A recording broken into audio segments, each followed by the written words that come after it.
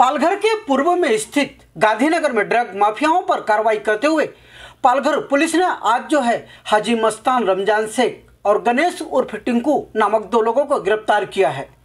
Police ने इनके पास से 10 किलो गांजा और 12 ग्राम जो है ब्राउन शुगर जब्त किया है। बाज़ार में इसकी कीमत जो है एक लाख सत्तर हज़ार रुपये बताई जा रही है।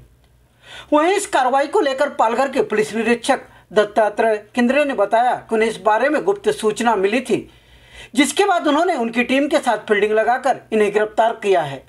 पुलिस को तलाशी के दौरान उनके पास से यह गांजा और ब्राउन शुगर जो है, वो बरामद हुआ है।